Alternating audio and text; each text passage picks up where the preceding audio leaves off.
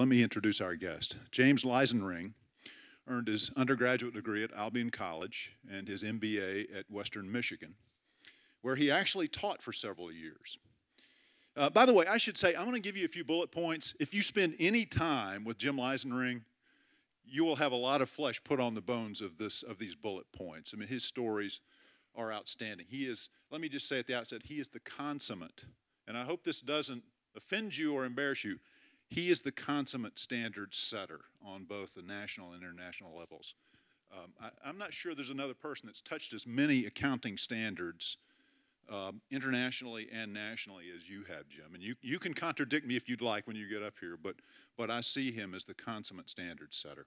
And you'll get a sense of that from just these bullet points. So he joined the staff of the F FASB in 1982 as Director of Research and Technical Activities and became chairman of the Emerging Issues Task Force in 1984 when that, when that committee was begun. He was appointed a member of the FASB, the actual board, in 1987 and appointed vice chairman in 1988, where he served until 2000. In 2001, Mr. Leisenring was appointed a member of the International Accounting Standards Board and was appointed its liaison back to the FASB. When he completed his service on the International Accounting Standards Board in 2010, he was appointed senior advisor to the FASB, where he's currently serving. And uh, I suggest you ask him at some point what he does as senior advisor to the FASB. I, I uh, enjoyed that story earlier today. Let me give you just a, a, little snapshot of the kinds of activities he's been involved in as a member of the FASB and the IASB. So during his time at the FASB, he served as chairman of the Derivatives Implementation Group and the Financial Instruments Task Force. He was also a member of the International Joint Working Group on Financial Instruments, and more recently served as the FASB's Director of International Activities. Uh, Jim Leisenring, it's a pleasure to have you back. It's an honor to have you back here. He's actually, I think, the only person who has been our Hylton lecture two times in its 30 year existence. So, Mr. Leisenring. Thank you. Thank you very much. I have to make the uh, disclaimer down here, and I have to say it out loud because they print it so damn small you couldn't read it if you had to. And I'm supposed to make clear that my views are my views. They're not the FASB's views. Certainly not the ISB's views anymore. They're, you know, you know the, you know the routine. Uh, I do want to talk a little bit about the international convergence process. Uh, it's kind of come to its conclusion, and we'll talk about how successful and unsuccessful that's been. Talk about why it's had its successes, although those are harder to identify than its lack of success, so we'll spend more time there. And you can ask me questions. If you have a burning question, raise your hand. Somebody will get you a mic, and we'll hopefully have some time at the end. Uh, Mr. Professor Hylton and I have something in common. Made me think of that when you were talking about how tough he was. About the third year I was teaching at Western Michigan, the dean called, called me down to his office. I don't think the man had ever spoken to me before, you know? And I, I did know who he was. I didn't know he knew who I was. And I trotted down to the dean's office, and he told me that something I didn't know, but that the dean's office, university-wide, kept grade point averages of professors, much like a student has A, B, C, D. And he congratulated me on having the second lowest grade point average of any faculty member on the whole campus and it was a graduate professor in physics that had a lower one than me. And I thought, I don't think this is really a positive statement this man's making at any rate. So uh, Mr. Hylton and I may have something in common. All right. The vision, obviously, initially for, for international convergence and the, what the spin doctors said, particularly the IASB, but also the FASB, that the vision was one single set of high quality global standards. What, what, would you expect them to say low quality?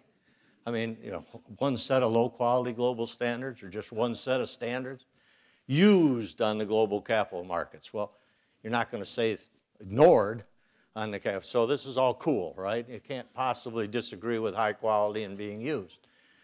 Now the problem is that I don't think, and we'll explore this, whether we can reach agreement on what we mean by a high-quality accounting standard. And I'm pretty sure we won't reach any agreement on what is meant by the word used. So we've got some problems right off the bat. Years back, about 1995 or so, the FASB had an annual conference, still do. They have about 50, 60 academics are there. The SEC is there, the five or six largest accounting firms explore various issues, drink a lot, consider it to be a big thing.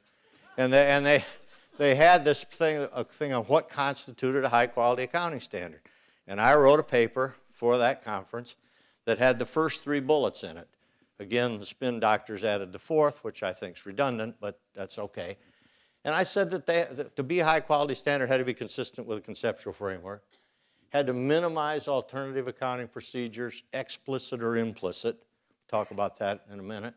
Because comparability and consistency enhances the utility of the information. Be unambiguous and comprehensible. So the people have to apply it, know what to do. People have to audit it, know what to do. People have to regulate, know what they're supposed to be regulating. They added the fourth, be capable of rigorous interpretation and application, which certainly is not disagreeable, but I'm not sure that isn't about the same as the third. I had forgotten, I wrote this paper. It didn't have the circulation of Time magazine or anything like that when it came out. Uh, but I didn't even forgotten about it. Till we had, the FASB picked it up and put it in their vision statement involving international standards in 1999. Somebody pointed that out to me here about a year ago, and I didn't even know it was in there. Okay? But I think these are good, good starting point at least. And I think you can see that each of those attributes of high quality, as I suggested them, tend to promote comparability. Application of standards leads to consistent conclusions across varieties of transactions. In other words, the same economic phenomena, whether it's labeled A or labeled B, tends to get the same answer. That explicit alternatives are not comparable, and both IASB and FASB standards certainly have some explicit alternatives, as you're aware. But more importantly to me is that implicit alternatives that are the result of ambiguity and an inability to apply and interpret consistently consistently are far more dangerous than explicit alternatives. The user community can do a pretty good job of you disclosing that I'm on LIFO, I'm on FIFO, I use method A, you use method B. We even sometimes make you tell, the tell people the difference. The dangerous problems are accounting standards where the variety of application is anywhere from here to here and no user has a clue where you are on that spectrum whether you're over here, here, here, here, and narrowing it down, that's the dangerous one. That's the true non-comparability because it's non-comparability you're ignorant of as a user, an investor, and a resource provider. Boards have agreed with that.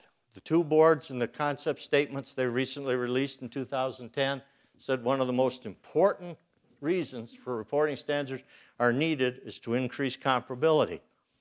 I don't think that's a surprise to anyone. So I have just two questions for you. Are principle-based standards, are they compatible with a comparability objective? Yes or no? Do you have a clue what a principle-based standard is? Because I don't.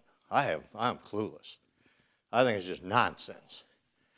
I think what it means is a standard I like the answer to. Okay, I like this one. It's principle based. If I don't like it, I'll probably call it rules based. In the comment letters that I saw as an IASB board member, most of the world at least believes principle based is a standard sufficiently loosey goosey or sufficiently ambiguous that I get to do damn near anything I want.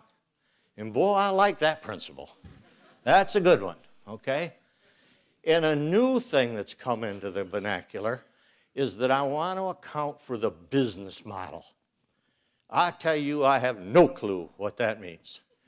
But let me tell you about my business model. Back when Michigan finally became a state and I got out of school, uh, 1964, I got out of graduate school, if you can believe it.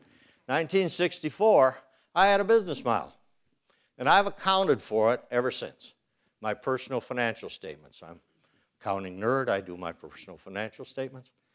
My business model was to make 2 million a year. And I had some years I ran a little short. and you know what?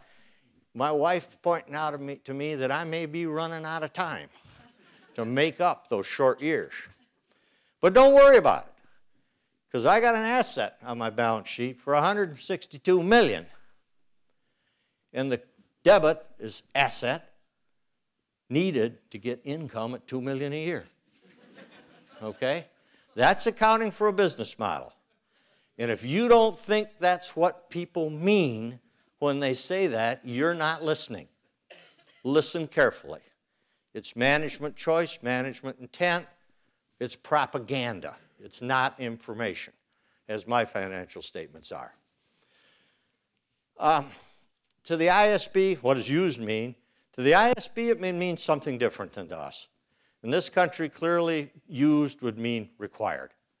To them, it clearly means allowed or required. They publish their little map that's famous in all the accounting journals where they color in all the countries that you, what they say, use IFRS, and they search the world for one guy in a country that's using it, and then they can color it in, you know. I was there, I knew what they were doing. It made us look good. But here we'd think of them having to be required, not allowed, or else you're not going to get any comparability. Some, most in fact, do not adopt international accounting standards. They adapt them. That's quite different. The Chinese say they're coming close. Well, China's a big country, so I think close doesn't mean very close. We aren't talking about Liechtenstein's closeness here. We're talking about China. You know, and the Europeans, they haven't adopted yet. They say they're the first to adopt international standards. They don't adopt. They have a very, very complicated political process to decide standard by standard whether to adopt. In this country, we'd say we've adopted. FASB standards. The SEC rules say you will follow them. The only way you wouldn't have to is the SEC overrules that by their own rulemaking. The reverse is true internationally. All right? That's a quite different notion. Now, there are some countries that have unequivocally adopted. Australia sort of has. They've made them tougher in some areas. New Zealand has. South Africa has. So there's a handful that have. There's also some others that assert they've adopted Afghanistan, you know, Uzbekistan, a few others. If you believe that if they've really adopted, I'll sell you a bridge right into New York City on the way out. And that's the real problem. Because if the application isn't consistent, all right, if the infrastructure isn't there so that the application isn't reasonably consistent, like we think we reasonably do here and some other countries do as well, the real question is have we accomplished anything? Is it illusory that we're on a single set of standards without consistent application? And the SECs ask exactly the right question. It's dismaying to the ISB, but their implicit question is hey, if we're not really going to achieve the objective of getting comparable information with this set of standards, is the cost of conversion in the United States really worth it? Because it's hundreds of millions of dollars the, the systems that would have to change and the like. And the United States is going to be reluctant to do that. And I think that's unsettling to the international community, but I think that's where we are today. I certainly won't live long enough, I don't think, to see a single set of international standards, and I still feel pretty good. So I, I think some of you might see it. We'll see. We'll see what happens. Uh, the memorandum of, of that started the convergence process really was from the SEC in 2005. And at that time, they said, quit, focus on major projects. There was a thing called a 20F reconciliation that every foreign registrant had to file in the United States, showed the differences between US GAAP net income, foreign net income. There were dozens and dozens of things identified. And the SEC said, quit messing around with those things. Some of them don't amount to much, and by the way, quit trying to converge inadequate standards.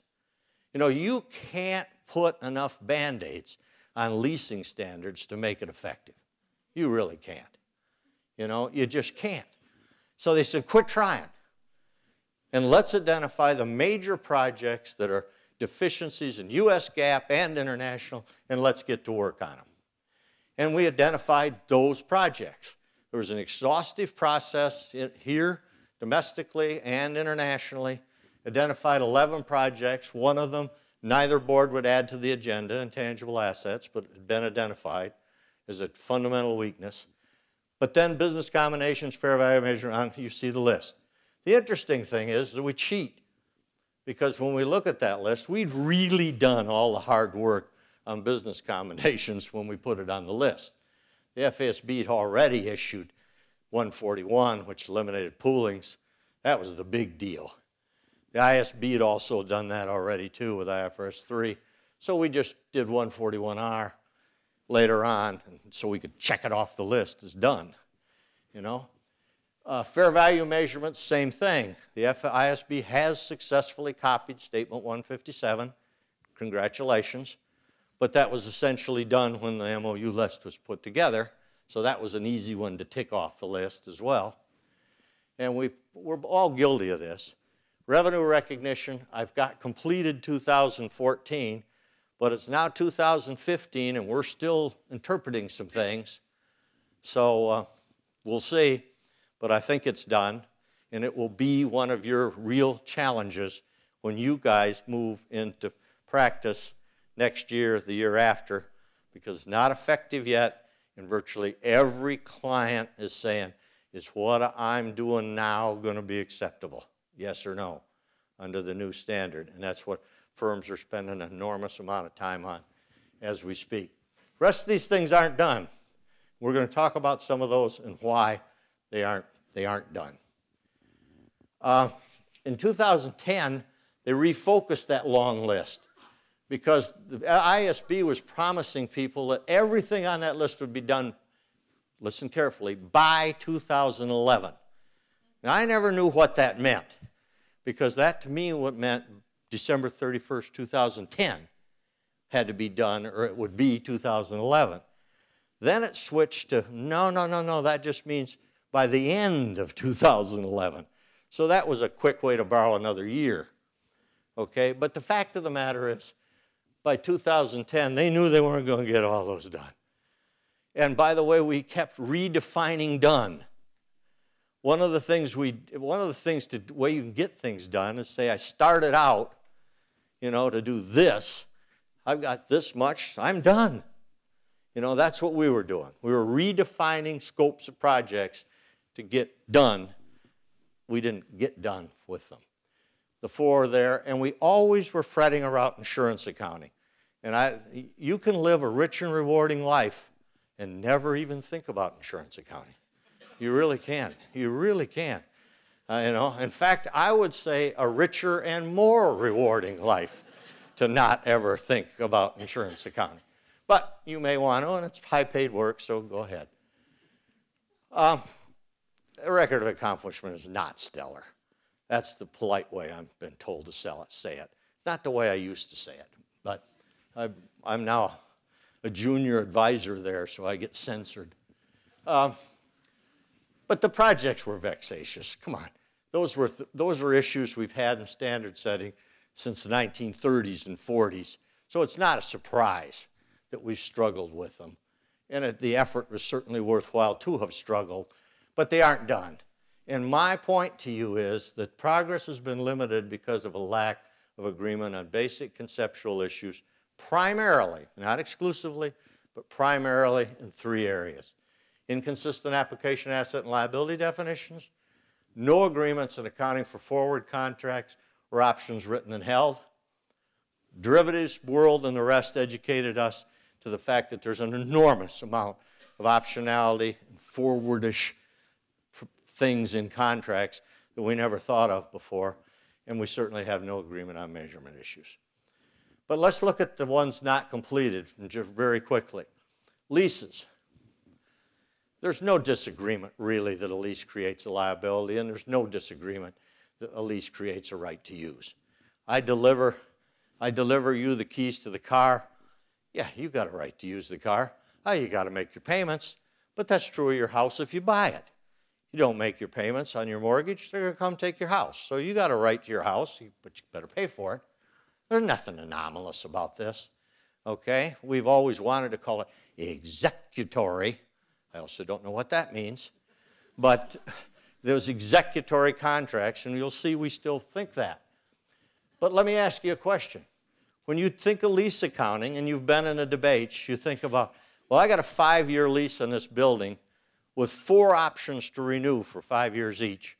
We all want to say, oh, you don't really have a five year lease there. No, no, no, no, no, no, no. We think you're going to lease it a lot longer than that.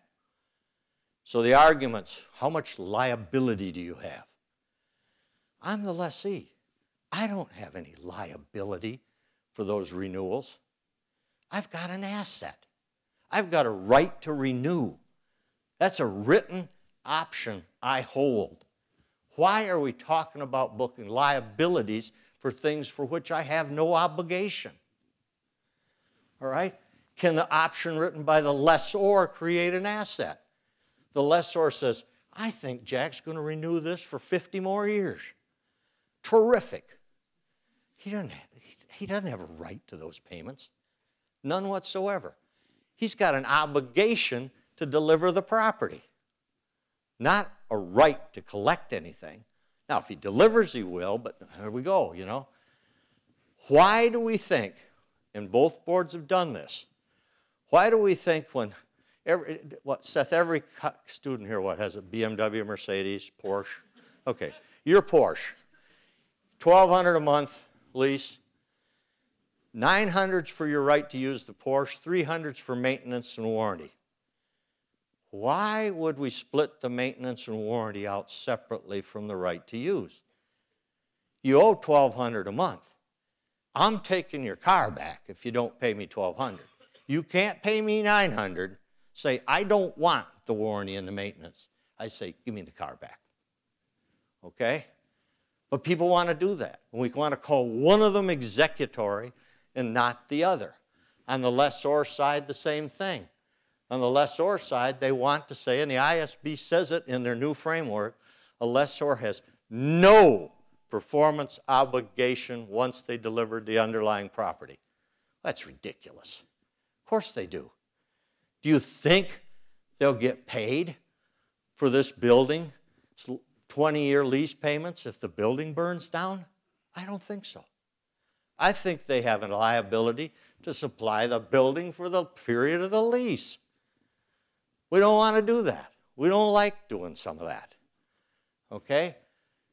But if default on the contract can occur without performance, somebody must have a liability or it's silly to call it a default. The FASB's created a new one. Seth may be able to straighten them out on this. I've been unaware able to do that. But because we've gotten so used to, with operating leases to have a straight line of expense, a smooth net income, all right, what we're going to do with certain class of leases is back end the amortization. Because the early years of a lease, obviously the finance cost is high. End of the lease, the finance portion of it's low. Surprise, surprise. The more you owe, higher your interest. Wow. Good thing. Write that down. Write that down. That's important. But that means that if you straight line the right of use, my gosh, in the early years, your expense is higher than the later years. Whew, another real, real jewel. That's a gem to understand. Well, how do you fix that? Don't do any depreciation in the first year. Do it all at the end. It'll all come out straight. Nice. That's cool. Terrific. Great concept. We call it the plug. Financial instruments. I think the accounting profession, I think the standard setting world will one day, hopefully a long ways from now, but the next credit crisis, which will come, you'll live through one. All generations do. Severity may change, but when it comes, accounting profession is going to get a big stick in their eye when people said, You mean The result of 2007, 8, 9 is you didn't do a damn thing to financial instrument standards. What were you doing? And we're going to say, um, um, why can't we figure out even how to impair a loan? All right? I don't un understand this. You know, and now both boards are saying that on day one when I lend, what's your name? RJ. RJ, I lend RJ a million dollars. Let's cut that back, 100,000 to RJ. It's 6%. I've got a loss that day. How could I have a loss that day? If I don't think 6% and 100,000 is going to get paid back, what the hell did I lend it to him for? Well, the theory is, well, because I loaned to a lot of people. Oh, well, that means I could have a lot of losses. All right? What they really are saying is RJ is getting a good deal because the rest of us idiots are willing to pay six and we should be paying five. So that we pay for RJ who's not going to pay. All right? We don't allow future losses anywhere else. But we think this would be a good idea for loans. I don't have any idea why. Why can't we agree on measurement attributes for financial instruments? This is the only thing I'm going to say, okay, my opinion. We absolutely should measure every financial instrument at fair value through, through net income. If we're not willing to do that, let me tell you, you will never, never reduce the complexity in accounting for financial instruments. The multiple attributes, the bright lines between when you do what, how you do it, that's the complexity. Is it difficult to measure some things at fair value financial instruments? Sure. But the worst ones are already all at fair value, derivatives. The banks say they can't measure the fair value of a loan to me. Man, if they really believe that, I'd get into a different business if I were them. Because they already know my credit risk. Do they not know interest rates? Come on, they're bankers. Is presentation why we can't agree on these questions? Yes. It's not measurement that causes the problem, it's remeasurement. Initial measurement of things isn't controversial, but when we remeasure it, what does it produce? A gain or a loss. Where that gain or loss be? Where is it? That's the issue. And we won't resolve this as long as we think it's going to be distortive of income. And I just don't think anyone can take the, all of you have at least had Statement 115, which, by the way, I voted for. One of the dumb things, uh, many dumb ones I voted for. 115. If you think that produces sensible information, you're smoking dope. I mean, you, you, you really can't take a, a treasury bill and say, oh, some of these three I'm trading, not those four, because those I might trade. And those two over there, I will never, never trade unless I trade them. All right, that's what we're doing now, right? Is that what we're doing, 115? That makes a lot of sense. That's real comparable information. Consolidations. Some of you may not have had it yet, everybody's just having it now, but what do we mean by control of another entity? The, the IASB just says you control it if you control it. And you have to reach that decision. Are you or aren't you in control? I don't really think there's another solution but that. The FASB thinks, well, you control it if you own 50.1% of the stock. Do you not understand that in any company with any wide dispersion of shareholders, the difference between 49.9 and 50.1 has nothing to do with economics? It's just a point where you can manipulate. Now, if you really think control means perpetuation of control, then you need 50.1. You do, because you could lose control, but rather you're in control with probably 30 or 35, most big public companies. You have 30% of a block of General Motors, I guarantee you, uh, they're not going to hang up on you. Okay? They will not hang up on you. And we're going to get into a principle called stickiness in a minute and we'll figure out what we do with stickiness. But applying it to business combinations, it would indeed be truly strange. Derecognition. This is the worst issue I've ever had to face, in accounting. I think it, it is our most perplexing issue. It's not recognition, it's derecognition. And by the way, it's one of the few times we've invented a word because if you Google derecognition, I'm sorry, not Google, just type it, spell check goes every time you do it, you know, because it's not a word. But when do you take an asset or liability off your balance sheet? Why don't we, this would be a great idea. Why not take it off if it's no longer an asset or a liability? Ooh, wow. Isn't that a big one? Huh? We don't do that. Why? Because we want to confuse risks and rewards with assets and liabilities. Risks and rewards are not. We'll talk about that in a minute. What do we do with options or forward contracts? If I own 40% of the stock in a company and an option to get 20% more, am I in control or aren't I? If IASB says yes, FASB says no. Another example of options forwards not being consistently done. And now we're back to stickiness. Stickiness means path dependency, and that I get a different answer depending on whether I once owned something. If I own a billion dollars worth of receivables and I sell them to Zachary, all right, for a billion dollars, but I, to, to get a billion dollars from Zachary, I guarantee that the principal payments will be paid. All right? I guarantee the principal payments will be paid. And I say, all right, I'll guarantee these up to 2% credit loss. And we both agree that the real exposure in this portfolio is 1.5%. So he's really well over guaranteed. All right? We want to say, oh, you didn't sell those. You didn't sell those. You've still got them. So what's the journal entries? If I didn't credit receivables when I sold, sold them to Zachary, I got a debit to cash for a billion. I did half this entry, you do the other half. Where's the other half go? If it can't go to receivables, it goes to liability. So what's the consequence of that transaction? I still have a billion dollars worth of receivables on my books, and I have no right to collect anything. Is that good accounting? I wouldn't think so. I also have a liability on my books for a billion dollars that I wouldn't know who to pay if I wanted to write a check. Okay?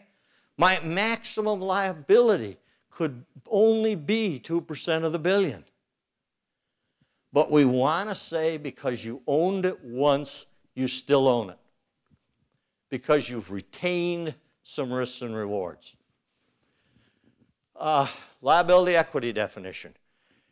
Another portion of the literature you don't want to read if you can avoid it, but you will not be able to avoid it. I think it's unfathomable to get through the FASB's literature on liability and equity distinction. It is so complicated, so complicated.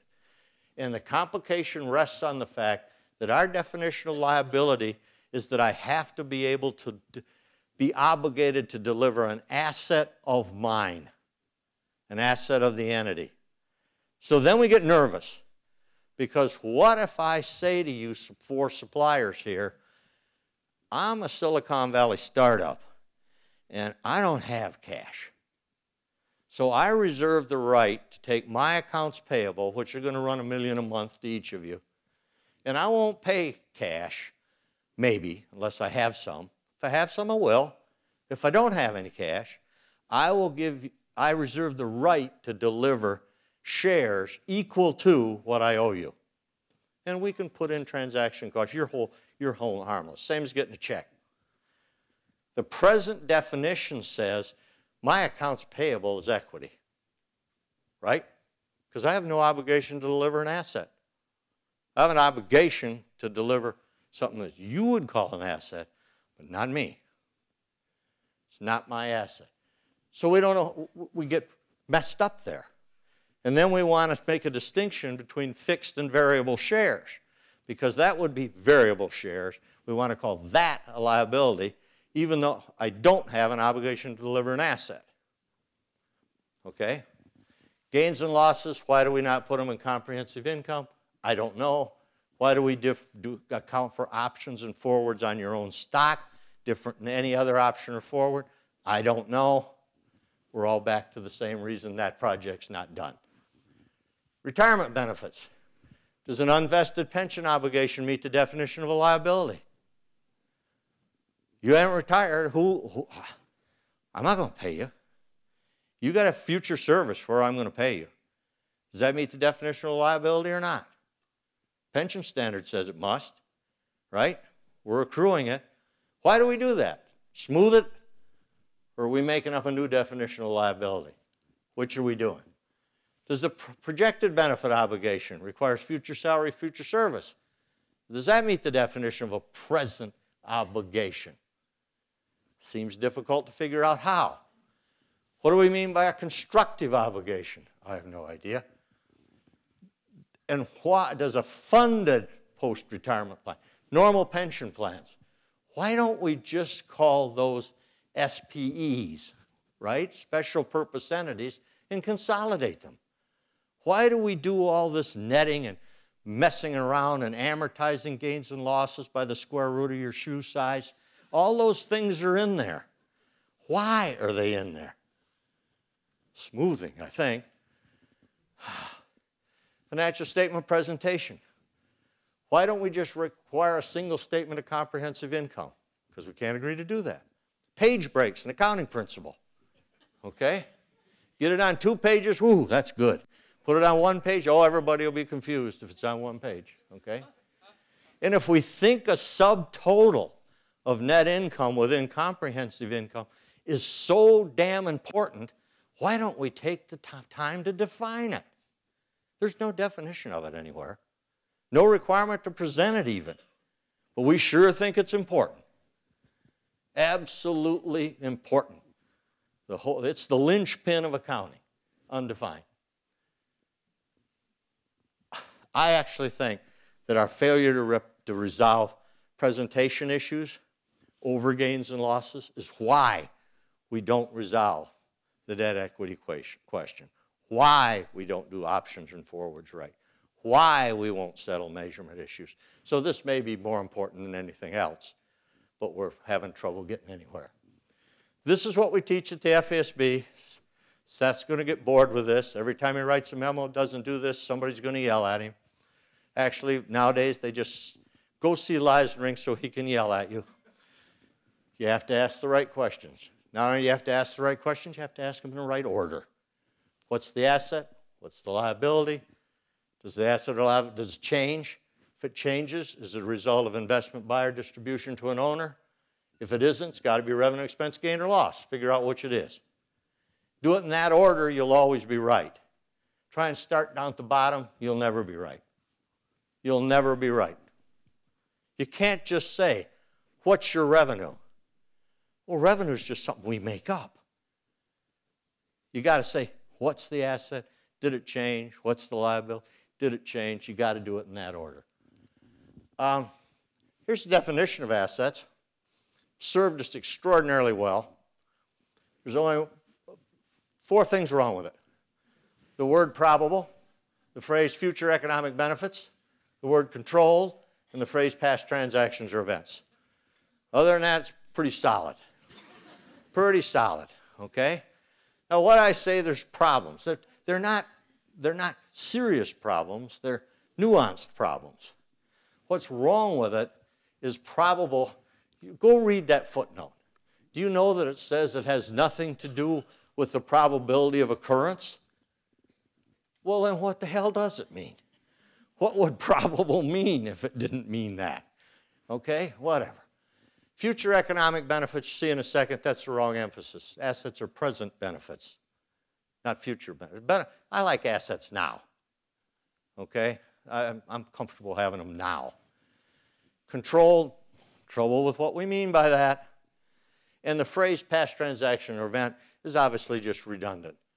Because if you got an asset, something had to happen. How'd you get it? Some event or transaction had to happen or you wouldn't have it. So we don't need that. We love symmetry in accounting, so liabilities is similarly messed up. Liabilities are probable future sacrifice of economic. I think liabilities are present obligations. All right? Probable has the same spooky definition. Future economic benefits is emphasized in the wrong place. We have uncertainties as to obligations. We're not going to talk about that today, but there are some things you don't know whether you're liable for. Litigation, lots of things have happened.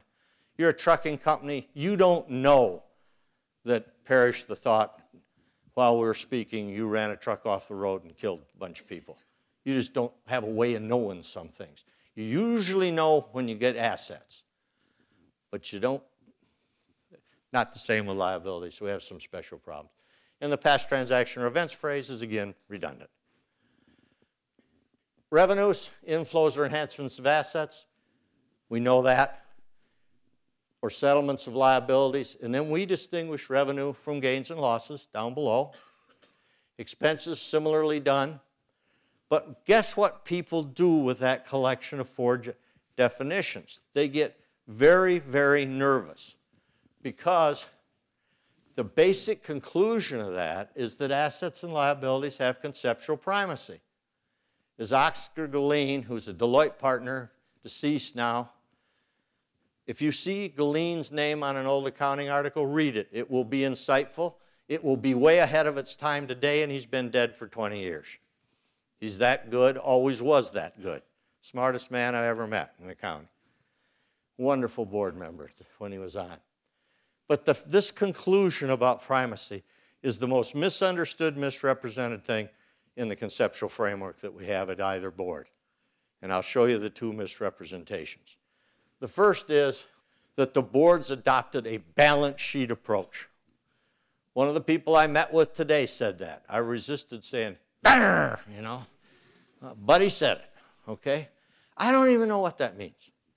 Pacioli told us we had double entry bookkeeping.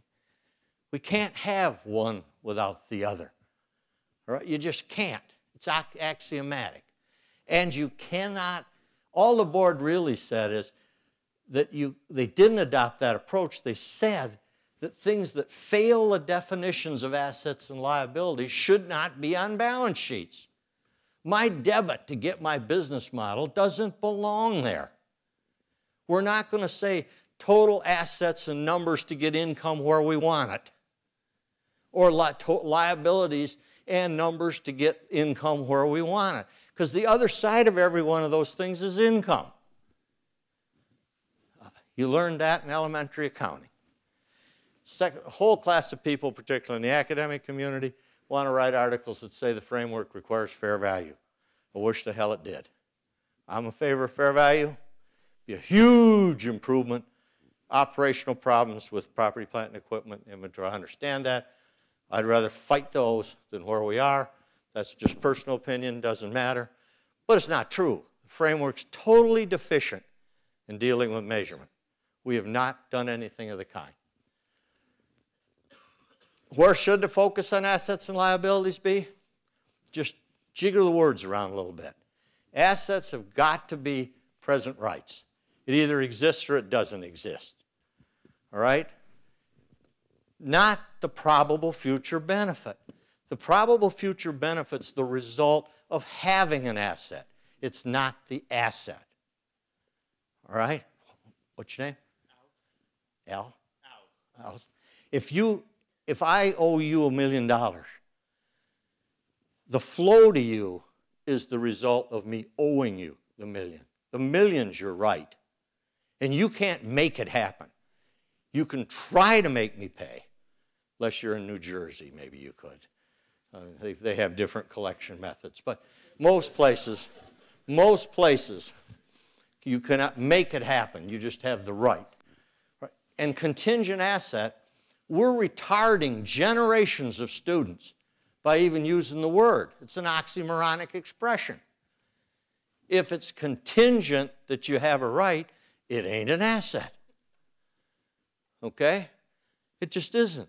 And again, symmetry seems to work on both sides of the equation. Same things can be said about liability. Liabilities are present obligations.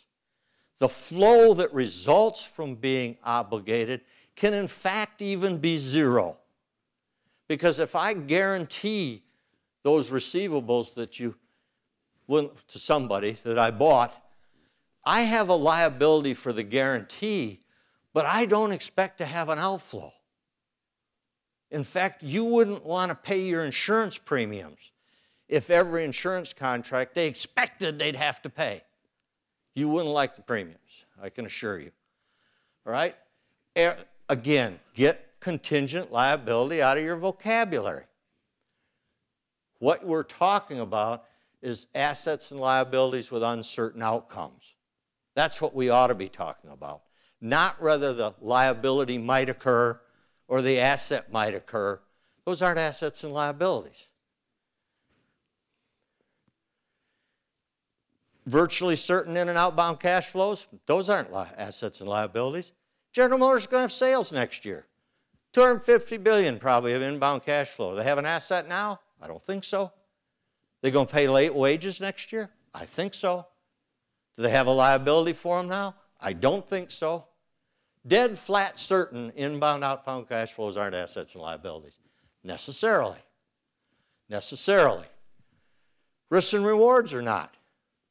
Risks and rewards affect the measurement of an asset or liability, not its existence. Now, obviously, I could look and say, whoo, boy, I'm risk, I've guaranteed these receivables, I got some risk.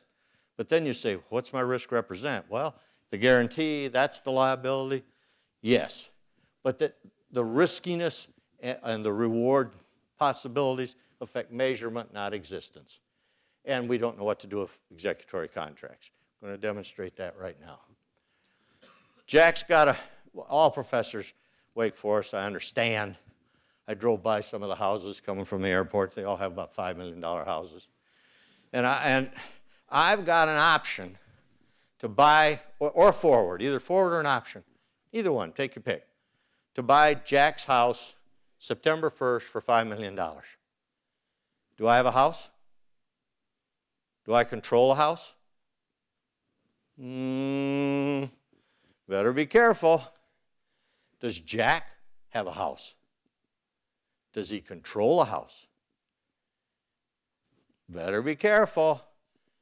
Can he sell a house? No. I don't think, however, that I have a house and he fails to have one, but that option forward certainly changes the measurement of that house. He has no more upside potential at all if I have an option. He has no upside or downside potential if he has a forward. I have it all.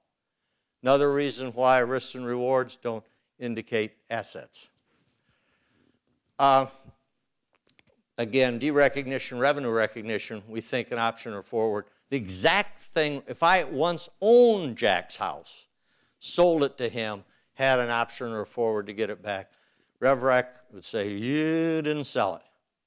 Derecognition would say, you still have a house. But the economics and the, the, the uh, legal rights are identical, whether I once owned it or not and we account for it differently. Can writing an option, by definition of li liability, result in an asset? Think of frequent flyer programs. Are they, are they a liability?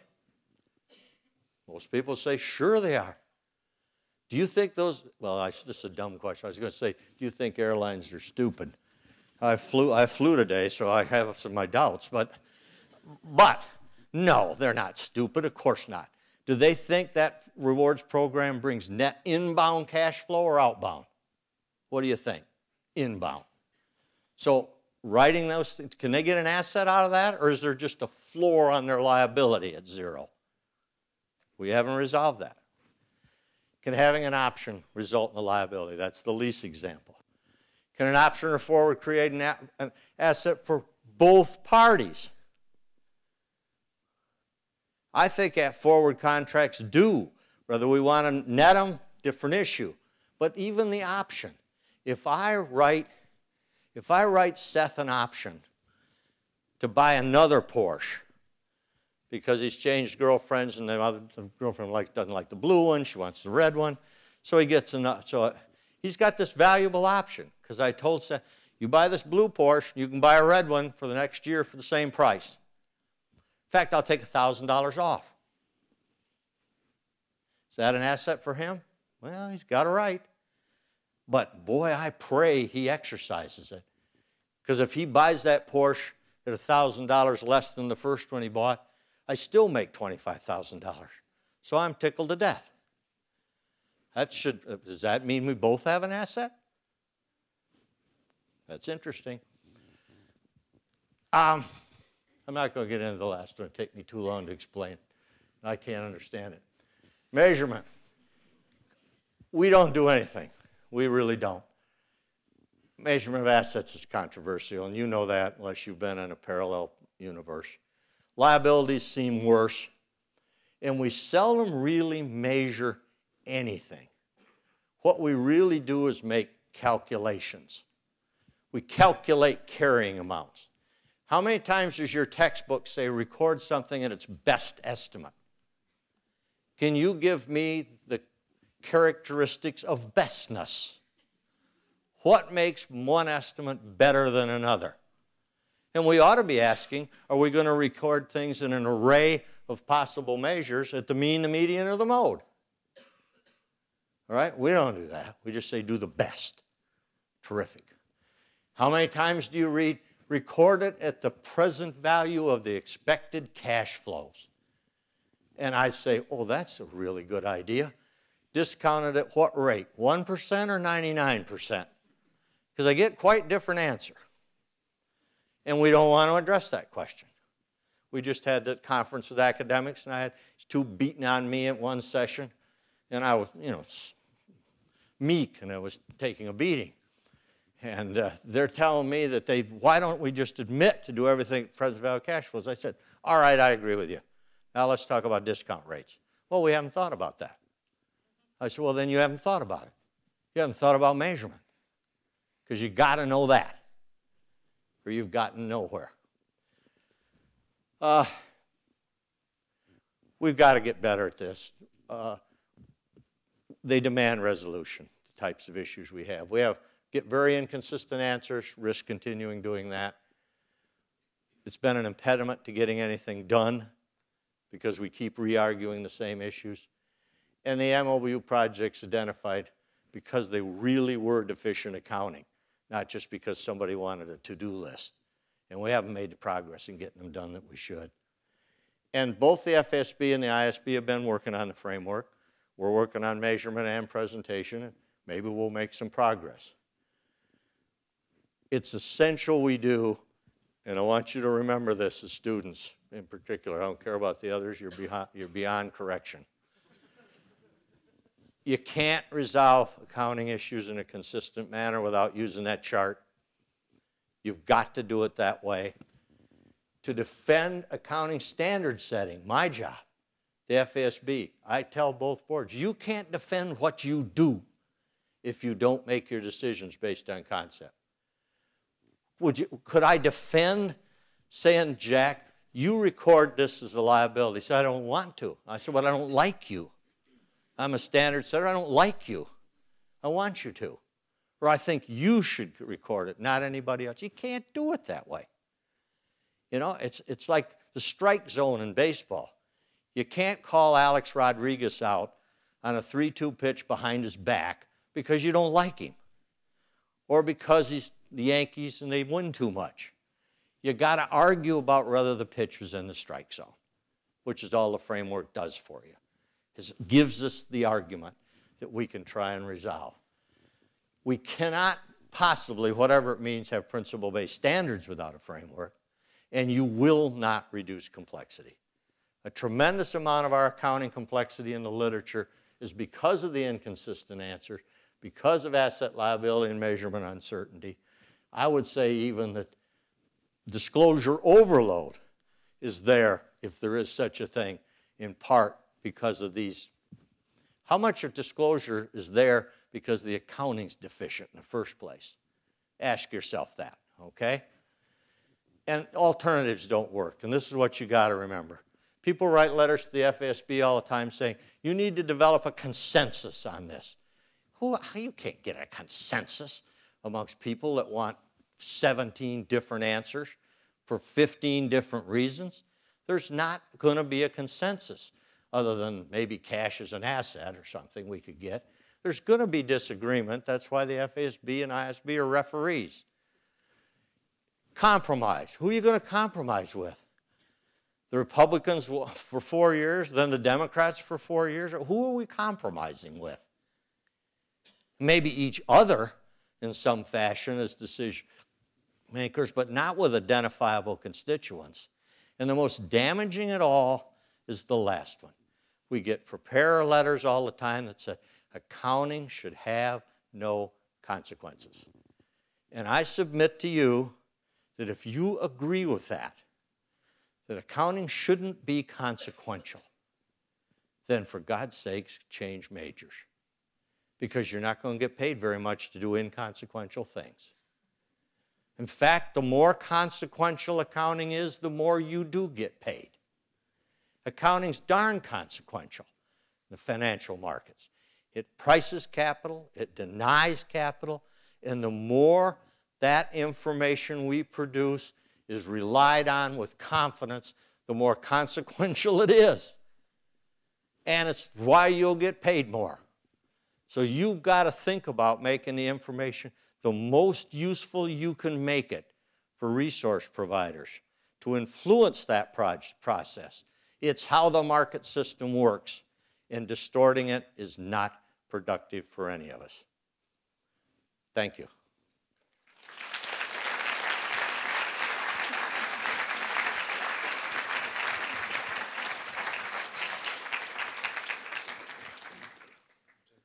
Sure. So uh, maybe you have a couple of questions.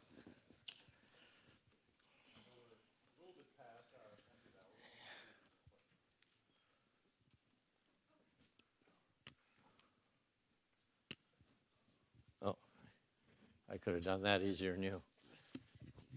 Hi, Jim. Hi. Thanks for being here. Um, you said many provocative things, and you had many uh, excellent ideas and very persuasive arguments. Um, I guess I'm wondering two things that are related. What um, it seems like you know what to do um, with many of these accounting issues and these. I'm positive I do. I th- it seems like you do, and, and I trust that you do. I'm wondering what are the major. don't do that. I, I- I guess I think, well, why don't you just get in a room with, you know, Katherine Schipper and Professor Wilkerson and, and solve all these issues and just be done with it? What are the major obstacles for, for you and for the FASB that you can't seem to, or you haven't been able to get them done? And, uh, and what would you do to change um, the FASB or how things are done in order to smooth the process going forward? well, first place, not everyone is going to agree with what I would do. Uh, that's for sure, particularly measurement of financial instruments, for example. They may not.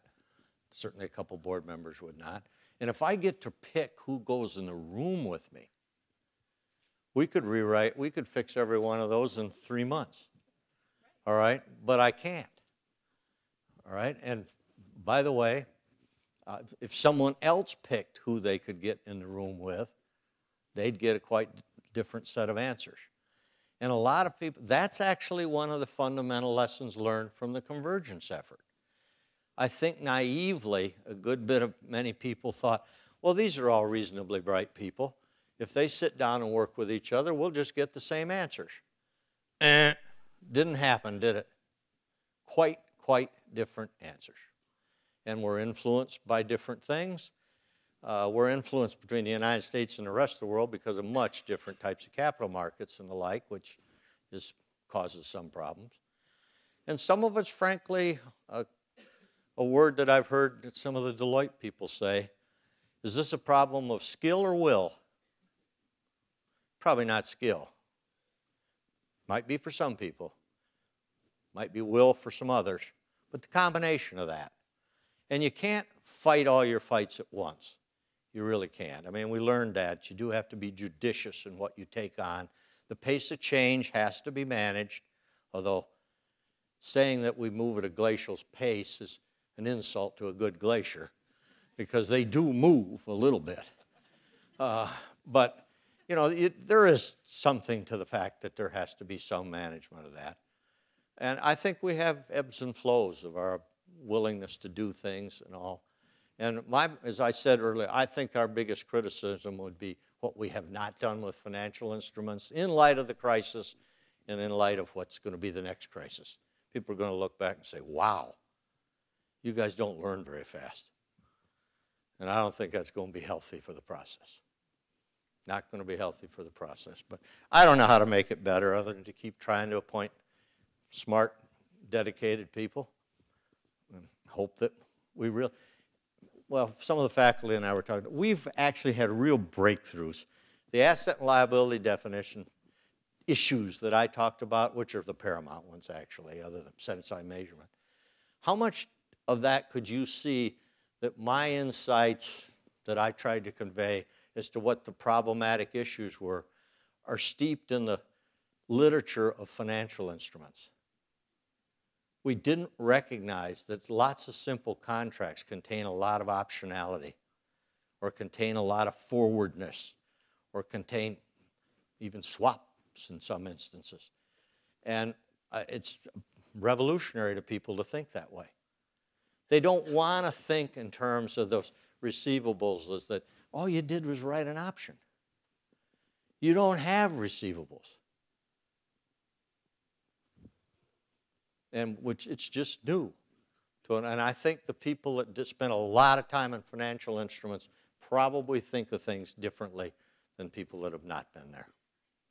That's going to, that's going to be a long time issue.